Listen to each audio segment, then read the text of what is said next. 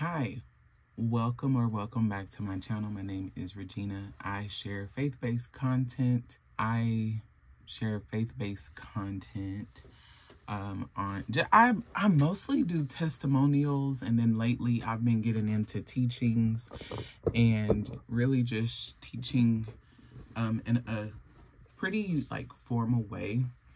Uh, but this particular video will be a little bit different because I wanted to share just a little bit about my heart in uh, deleting my Facebook account. So last year when I started my journey of being really obedient to the Lord no matter what, the Lord told me that I needed to delete my Facebook. And I always thought that it was an option. I thought that um, that he wasn't serious when he told me to delete my Facebook. It was just, there was so much uncomfortable things that happened in 2023 for me. Uh, God started to really like show me what consecration is, show me, he showed me a season of what, um, like deeper intimacy in the secret place and spending time with him a deeper place of worship. Uh, he was just showing me a lot about uh, getting rid of like just demonic influences and just really walking out my spiritual faith with him. And so um, the Lord just really started showing me that in motherhood, like I have to lay down some previous ways that I did some things passively. And he was showing me how to be more intentional and how to change my focus and get my focus off myself. And because I feel like I've been, like, there's always room to grow. And like, I just, like on Monday, specifically of this week, which it is May 15th today. So a few days ago, May 13th, I just ended up going to Facebook and I just felt so tired of it and I just officially deleted it. And I, I talked about motherhood because I thought that the way that I was doing motherhood was enough and I had to die to my flesh. And, and the Lord showed me that me deleting my Facebook, for some reason, it intertwines because of the obedience aspect. And I'm still honestly unraveling it. It's still new, hot and fresh off the press. But I've been tied to my Facebook account for years. I opened it in 2010, um, like right before I graduated high school. And then, like, I just became really attached to it. Like, oh, I like found a great level of my identity in my Facebook account. And I would go through seasons of deleting everybody off of it, keeping certain people, and you know, I was so concerned like, what people think if I delete them, and all these different things. Even though I outgrew there, those relationships, and I felt like there was times to where God would be like, it is time to clean up your Facebook and and all of these different things. And so, um, as I share this testimony, I just felt like God really wanted me to share it because there's somebody else who probably needs to delete their Facebook. There's probably certain ties to it that needs to be broken. There's certain relationships that need to be broken or, you know, like there's certain ties to, you know, social media. Like social media, at the end of the day, it's another tool for people to connect, but it's not supposed to be an idol. And I felt like I would get I would deactivate my Facebook account all the time. And if it separates me from God, it's an idol. If it discourages me, like if I get on Facebook and I don't feel the best and I get off and you know like and I don't feel the best, why am I on it? You know like and um I just had to walk through that. Like how I've been disobedient for a year. Like it's been about a year that the Lord told me to delete my Facebook. And I was just like, oh, I use it as a form of communication with certain family and friends. And then the Lord was just like, so, and, and we've always known that we can't look like the world, like as believers. We've always known that we cannot look like the world, we can't be of the world.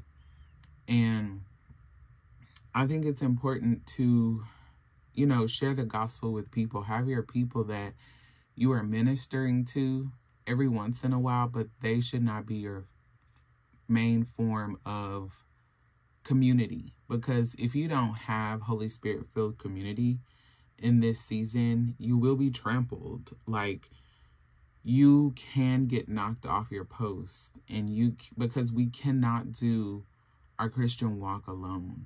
Like we we have to be around like-minded people. It is vital to the success of our walk with christ. And if you think that you can then i would just tell you to go back to the scriptures and see what the scripture says. I would say read the book of acts man. Like paul did not play like he shares about his life. He shares about the baptism of the Holy Spirit. Like he he goes deep into how believers should be living even if they are out sharing the gospel. And um because I feel like we are living in a time of the book of Acts in a way like the Lord has He's wanting to consecrate people more. He's wanting more people to get out of these false narratives and false religions that we've made in our mind or we're mixing crystals and we're mix, mixing Christianity. We have idols and you know we're uh, we're saying we're a believer and things like that like idols in the sense of new age, you know, stuff and I feel like so many influencers talk about this stuff. Um but in that, like God is really demolishing every idol that sets itself up against the word of God and up against God. And we have to really figure out what's real. Is what's in his word real or what's in this world more real? You know, and I I like this is my favorite quote that I've ever heard my pastor say but he was telling his wife in a conversation, he said, God is, he was crying, God is more real to me than you are sitting right here next to me. And I'm like, exactly. That's exactly where our walks and our relationship with God should be. And no matter how much the enemy will use people to compromise family, he'll use family members, he'll use friends, he'll use those friends from long time ago. Like people will randomly start you know, texting you saying, hey, what's up? Like that are old and things like that.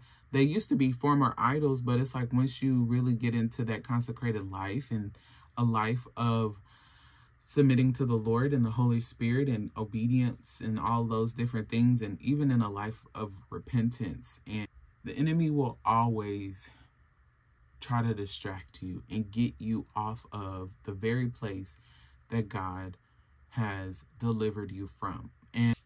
We just can't grow weary in well doing so easily. You know, like we cannot get comfortable in our Christ in our walk with God. And when we do, we see the fruit of it really fast. And God is just to like when I say God is not playing and he's allowing certain things to manifest itself. I mean, at the end of the day,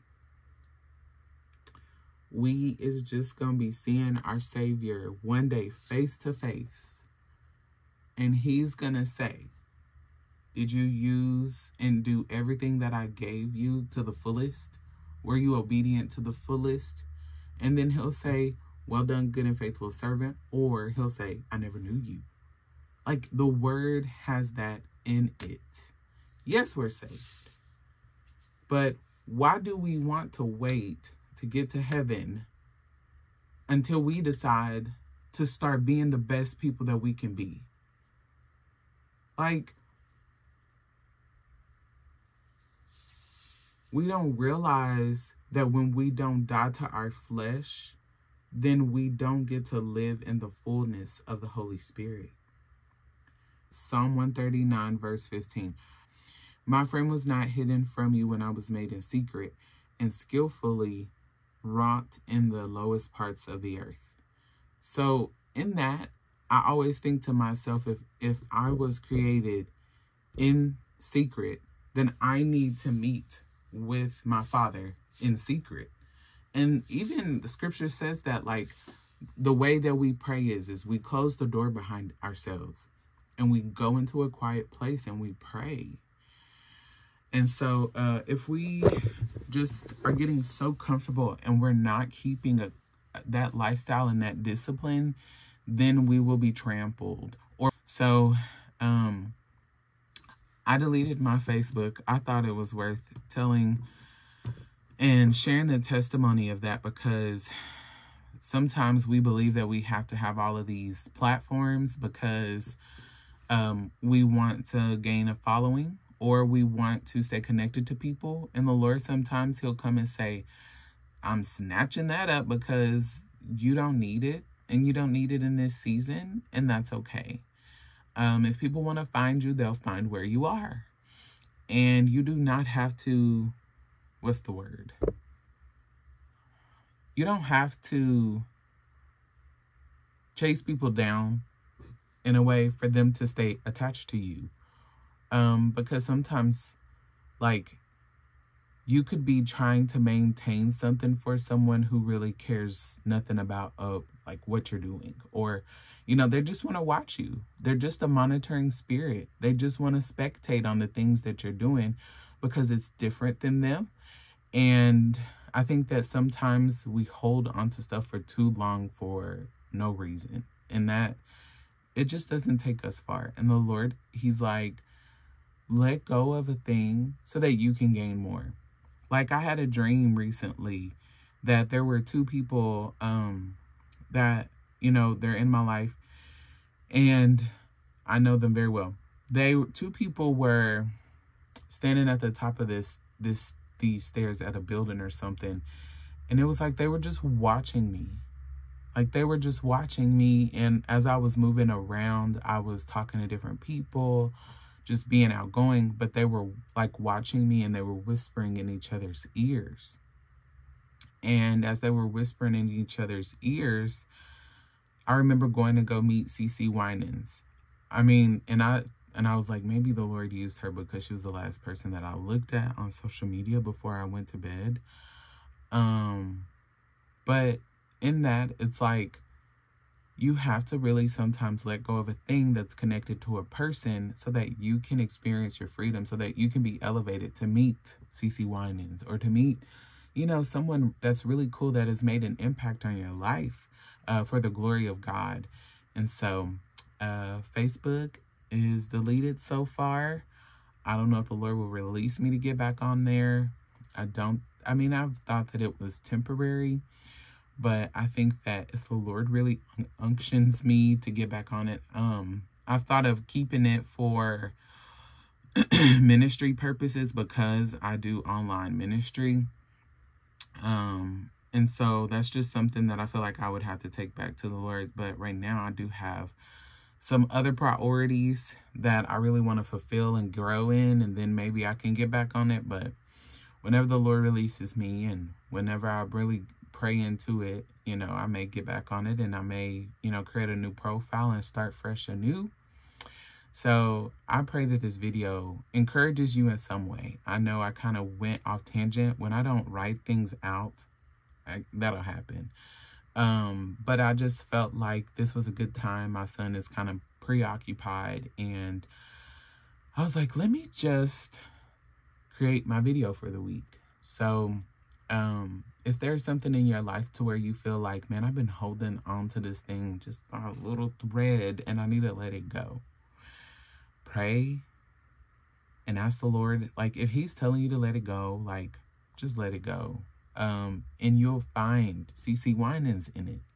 I'm just kidding, but no, like, but it's like the good that God wants to give you when you let a thing go.